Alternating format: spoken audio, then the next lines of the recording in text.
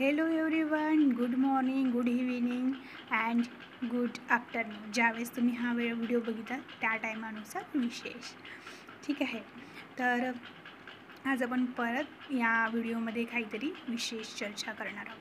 मी खूपदा बघितलं आहे ज्यावेळेस आपण इतरांचे स्टॅटस बघतो फोटो बघतो किंवा इतरांच्या लाईफबद्दल ऐकतो तेव्हा आपल्याला प्रत्येकालाच असं वाटतं खाश आपली लाईफ तशी असते. त्या व्यक्तीची लाईफ किती सुंदर आहे. पैशाची स्टॅबिलिटी आहे रिलेशनशिप मजबूत आहेत. आणखी खूप काही हेल्थ छान आहे. है ना? प्रत्येकालाच असं वाटत असतं की काश आपली लाईफ पण अशी छान असते. हो ना? पण एक गोष्ट आज तुम्हाला स्पष्टपणे क्लिअरली आणि तुम्हाला एकदम क्लॅरिटीनुसार सांगते एकदम मस्तपणे इझिली समजेल अशा प्रकारे. आपल्या प्रत्येकालाच असं वाटत असतं दुसऱ्याची लाईफ बघून कारण आपल्याला त्याच्या लाईफचे ज्या गोष्टी आहेत त्या बारकाई त्या एकदम आपण जवळून बघितलेल्या नसतो. आपण आपली लाईफ जवळून बघितली असतील त्यामुळे आपल्याला आपल्या लाईफचे दोन्ही पैलू माहीत असतात. त्या व्यक्तीच्या लाईफचे आपल्याला पॉझिटिव्ह पैलू दिसत आहे परंतु त्या व्यक्तीच्या लाईफचे निगेटिव्ह पैलू आपल्याला दिसत नाही आहे कारण आपण त्या ठिकाणी जाऊन ती जीवन जगलेलं नाही आहे ना?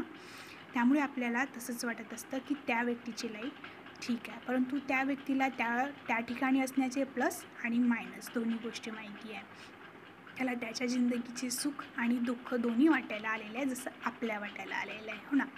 तर एक गोष्ट नक्की आणि निश्चितपणे लक्षात ठेवा. प्रत्येकाचे सुख दुःख हे सारखेच असतात. कोणाची सुख दुःख इतरांपेक्षा वेगळे नसतात. कारण तुम्ही नोटीस केलेलं आहे की नाही मला माहीत नाही. परंतु आता तुम्ही नोटीस कराल हे मात्र नक्की. बघा प्रत्येकालाच हेल्थचे प्रॉब्लेम असतात. राईट कोणत्या ना कोणत्या लेवलवर प्रत्येकालाच कधी ना कधी हेल्थचे प्रॉब्लेम झालेले आहेत. सेकंड मनी प्रॉब्लेम प्रत्येकालाच कधी ना कधी मनी प्रॉब्लेम झालेलेच आहेत.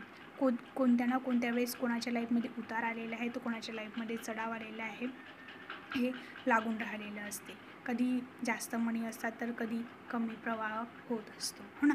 त्याच्यानंतर थर्ड रिलेशनशिप प्रॉब्लेम प्रत्येकाच्याच लाईफमध्ये रिलेशनशिप स्ट्रगल झालेलीच आहेत. कधी आपल्या पार्टनरला समजून घेताना कधी आईवडिलांसोबत मिसअ अंडरस्टँडिंग झाली तर कधी फ्रेंडशिपमध्ये काही ना काही प्रॉब्लेम झाला तर.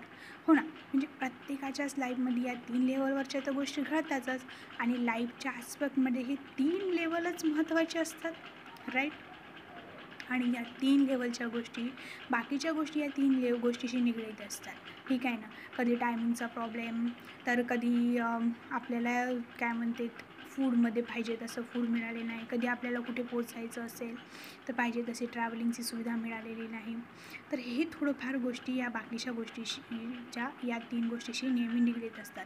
कारण बघा जर मनी प्रॉब्लेम असले तर आपल्याला सुविधाजनक जिंदगी जगता येणार नाही. ट्रॅव्हलिंग करायचं असेल तर पाहिजे तशा प्रकारच्या वाहनात ट्रॅव्हल करता येणार नाही. ठीक आहे रिलेशनशिप मजबूत नसेल रिलेशनशिप स्ट्रगल होत असेल तर हॅपीनेस राहणार नाही. कारण रिलेशनशिप ज्यांची रिलेशनशिप मजबूत आहे त्यांना खुश तुम्ही पाहिलेलं असेल. ज्यांची रिलेशनशिप स्ट्रॉंग असेल त्यांचे. ॲटलिस्ट जे सेफ्टी नेटवर्क असते ते तरी स्ट्रॉंग असणं जरुरी आहे आणि ते आहे आपले परिवार. सेफ्टी नेटवर्क आपलं. ठीक आहे ना? तर त्यांच्या आपल्या परिवारात घरातलं कोणी दुःखी असेल तर आपल्याला त्रास होईल. हो ना? जरुरी नाही ना की कॉन्फ्लिक्टच झालेलं असेल बा म्हणून. ठीक आहे?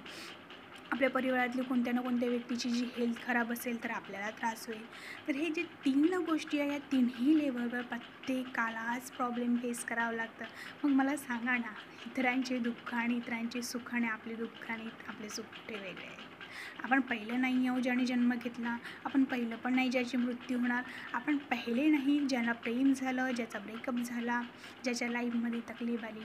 याआधी सगळे ज्यां ज्यांची कहाणी झालेली आहे त्यांनासुद्धा त्याच्यातून जावं लागेल. समोर आपली जी पिढी येणार त्यांना पण त्याच्यातून जावंच लागेल की. मग प्रत्येकाचे सुखदुःख वेगळे कसे आहेत? सारखेच आहे.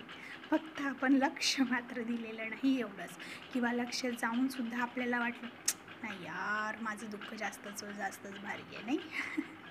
तुम्ही बघा ना आपण हा विचार करतो की सेलिब्रिटीच्या लाईफमध्ये दुःख येतं कारण ती से पण ते सेलिब्रिटी असतात. पण त्यांच्या असूनही गळत गळतातच मग त्यांचं जेवढे फेमस फेमस असेल ते तेवढ्या प्रमाणात त्यांच्या न्यूज म्हणजे पण छापल्या जातात. तेवढ्या प्रमाणात जेवढ्या प्रमाणात सुख आलं तेवढ्या प्रमाणात दुःख पण इंटेन्सली असतं. हो ना? तसंच आपलं आपलं कमी लेवलवर न्यूज छापल्या जात नाही आपल्या खुशीच्या. दुःखाच्या पण नाही छापल्या जात. बस सिमिलर सो टेन्शन घेऊ नका. हॅपीनेस जगा. Okay thank you so much